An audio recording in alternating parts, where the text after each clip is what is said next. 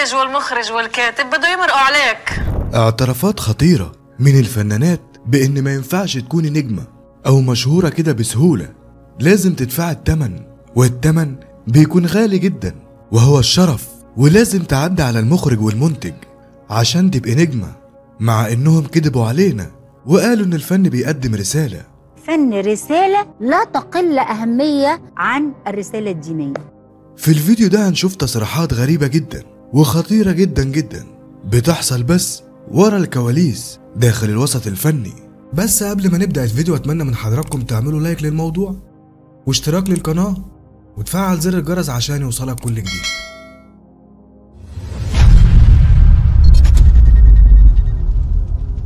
اعترف النجم الكبير عمر الشريف اعتراف خطير جدا وقال إن الفن فلوسه حرام وإنهم مش هيدوك كل الفلوس دي كده على الفاضي. أنا ما بحبش الفلوس. أقول لك الحقيقة ما عنديش علاقة بالفلوس.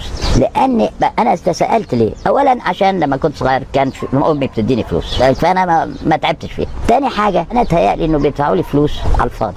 أنا طول عمري مقتنع إنه إيه الواحد يكسب الفلوس اللي أنا بكسبها عشان بحبط كلمتين وأروح أقولهم قدام الكاميرا. مش مقتنع إن دي فلوس حلال. مش مقتنع إن دي فلوس حلال. تهيألي أنا إن دي فلوس حرام. لما بشوف الناس اللي حواليا اللي تعبان واللي عبقري واللي بتاع واللي ميت من الجوع وبتاع أقول أنا عشان بعمل بلياتشو قدام الكاميرا يقوم يدوني المبالغ. معنى كده إن الأجر اللي الفنان بياخده بيكون مقابل إنه يقدم حاجات هو مش راضي عنها وأفكار بيكونوا عايزين يسوقوا لها.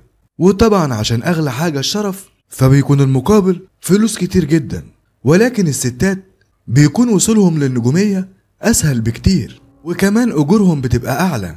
زي ما قال بالظبط الفنان اللبناني فارس الإسكندر. الوسط الفني وفي اشياء وفي وسائل إيه. يعني بدناش نفتح إذا فتحنا مصيبة. لحظة نحن يعني إذا بدنا نشبه إخواتنا وأمهاتنا بالفنانات بنكون عم نذنب بنفسنا. يا يا رنا بنكون عم نذنب بنفسنا شو هالتصريح هيدا؟ تصريح حقيقي مش مش لف ودوران انت فنان ابن فنان إيه إيه وابذا فنان إذا. بتشبه إيه أمك. وأختك بالفنانات إيه طبعا. طبعا طبعا لأنه ما في حدا ما ليه في حدا بتنتمي لهالوسط لأقول لك؟ شغلة بده يفوتوا بالفن ما فيها تمشي معها لا جوزها ولا خيها ولا ابنها ولا بيها مين بدها تمشي؟ بدها تمشي لحالها غير هيك ما كيف بدها بتمشي. تمشي؟ بدها تمشي لحالها. هي بذكية بشطارتها تمشي؟ هلا هي خلت حدا ما يوصل لها يوصل لها صار شغلتها بس هون ما فيك تفوتي بالوسط الفني وتيجي تعملي لي فيها أنا البريئة العفيفة. ما بتمشي هي ما في عفة بالوسط ما في؟ عفة لا ما في عفة. ما في شرف ما في عفة ما في عفة ما في.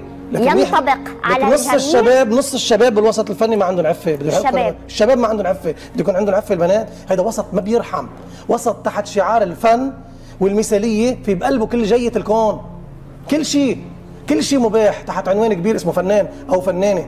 بتقولي لي فنانة آه والله إنه طعنا بشرف. أي شرف منه؟ أي شرف منه؟ هذا الشرف بينشرى بشوية دولارات. بتعرف هيدا الكلام؟ واللي بيقول لك غير هيدا الكلام. هلأ مسيء لجميع الفنانات في العالم. اللي بيقول لك غير من أكبر فنان من لأصغر أكبر فنان لأصغر فنان وأنا مسؤول عن كلامي. كلهم كلهم كلهم تقدموا تنازلات لوصلوا. لو ما قدموا تنازلات ما وصلوا ولا شافوها في عالم راحت تتسكر عليها ببيوتها ما عندنا عرفنا عنها شيء ولا سمعنا صوتها دخلك وين مختفية ليه اختفوا؟ اختفوا لأنه انطلب منهم شغلات وتنازلات شرفهم وكرامتهم ما سمحت لهم يعملوها قعدوا على الرف. بدنا نيجي نحن هلأ نشوف اللي وصلوا وبنعرف كيف وصلوا. نعتبرهم شرفاء مكة ونقارن إخواتنا فيهم. يه يعني بالشو لا يا حبيبتي لا. أنت لما تشوف فنانات ما بدي أذكر أسماء كرمال هيدا الكلام يعني ممكن يكون مسيء ل... لأي فنانة من الفنانات اللي بنحبهم. بتحترمهم ولا ما بتحترمهم؟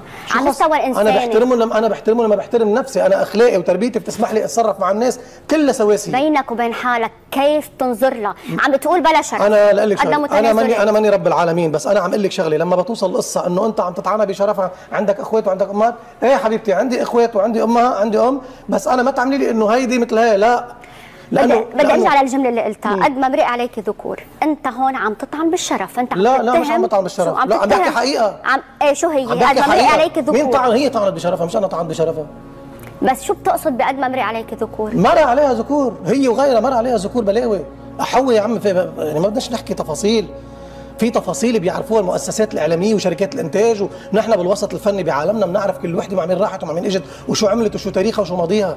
مش يجي يستشرفوا علينا هلا بس بس نضبوا ال 100 مليون على جنب بدك تعملي علي قديسة. تقبريني أنت أنا حرضنا ضيقه بنعرف بعض. خلص خلي الطبق مستور وعلى السكت على المعس. هيدا. الشيء بينطبق بينطبق على الشباب بينطبق على؟ الشباب طبعا في شباب في شباب عملت عمايل ما بتنعمل لا عملت مصاري وعملت اسم معظم النجوم. فينا نقول انت قلت. كل النساء كتير هل كتير. كل الرجال اللي النساء النساء النساء أكثر لأنه النساء بتعرف المرأة هي جمالها وجسمها وكله كلها مفاتن مفاتن واللي أكدت على كلامه وقالت إن الست لازم تعدي على المنتج والمخرج عشان تبقى نجمة الفنانة اللبنانية جوانا كركي المنتج والمخرج والكاتب بده يمرقوا عليك هيدا ترند أو أنت بدك تمرق عليهم صراحة شو؟ آه. هيك عم تحكيها؟ هلا أنت شاب ما بتمرق كتير نحن شو يعني ما بمرق كثير؟ يعني بمرق شوي؟ بس إذا بد ومش بس كده ده اعترفت الفنانة هياتم بإنها مشيت جوزها من اللوكيشن عشان ينفع تعمل مشهد جريء لأنها قبضة تمنه وتمنه غالي في مشهد آه، كنت بعمله في فيلم اللي هو أنا محمود عبد العزيز أول لقاء فجت ايناس قالت هو جوزك هيفضل قاعد؟ لنا فقلت له يعني نسيت حاجة في البيت بقى أروح هاتها وكده. كنا بنصور في المهندسين وكنت ساعتها ساكنه أنا في الهرم. فطبعا قبل ما يروح بيجي نكون خلصنا لما رجع بقى هو كان ذكي جدا. أنا ما أقدرش أرتبط بحد غبي يعني. قال لي أنت سربتيني ليه؟ قلت له بصراحة في مشهد آه، محمود هيبوسني وكده يعني. تقعد أنت تتفرج عليه يعني؟ فأنا رفقا بيكم. هيقول إيه؟ ده شغلي ده شغلي يا ماما. مع نفسه يا. أمي أنا ما بلغيش الراجل بس يبعد عن عني. يبقى حر. أنت خليك راجل وغير و- وقطع نفسك حتى بس بعيد عني. هتقرفني ليه؟ وطبعا اللي بيرفض تصرفاتهم بيتركن على الرف وممكن ما يشتغلش تاني في الوسط. زي ما حصل بالظبط مع الفنان يوسف الشريف لما طلع واتكلم وقال أنا ما بحبش التلامس ومش عايز أحط في أعمالي حاجة تغضب ربنا. يعني هي فوضى كان القرار. بس في حتة ما كنتش أنا حتى في المشاهد دي بس كان آه، في مشاهد كانت زيادة شوية. وساعتها أكتر حد لفت نظري آه، أهلي أبويا وأمي. مع العلم إن أبويا وأمي أكتر اتنين بي بيشجعوني لأي حاجة أنا بحبها. بس قالوا لي لأ زيادة وما أعرفش إيه. عارف زي ما يكونوا بس آه، لفتوا نظرك كده وسابوك تفكر. بعديها أنا قلت لا مش هوصل يعني مش مش عايز يبقى في مشاهد زيادة قوي لدرجة إن إن إن لا إن واحد من المشاهدين يتضايق. ما ينفعش. مش يعني لو مش هرضي الجميع أرضي ربنا في الأول وبعديها أرضي ضميري. في الفترة دي بقى يعني بعد هي فوضى هي فوضى كان من أكبر الأدوار اللي خدتها ساعتها. كان بعديها بقى إيه؟ جه بقى إن يوسف شريف بقى يتصدر. يعني تعالى بقى أنت هتعمل فيلم لوحدك ومش عارف فاخدت الورق قريته بقينا قعدنا عملنا ميتنج فكان في آه، مشاهد مكتوبة صعبة جدا. قلت للمخرج أنا مش هقدر أعمل ما انساش القعدة دي. فراح قال لي لا طبعا ده مش شغلك ما تيجي تخرج أنت بقى. فقلت له لا مش هخرج ولا حاجة وده طبعا شغل حضرتك وكل حاجة بس أنا مش هعمل يعني مش هعمل. قال لي خلاص يبقى تعتذر عن الفيلم. قلت له بعتذر. ومن بعدها محدش شاف يوسف الشريف تاني. وده اللي داير في الوسط الفني. عشان تبقى نجمة لازم تدفعي التمن. ولو حابين تشوفوا الجزء التاني ما تنسوش تقولوا لنا في تعليق.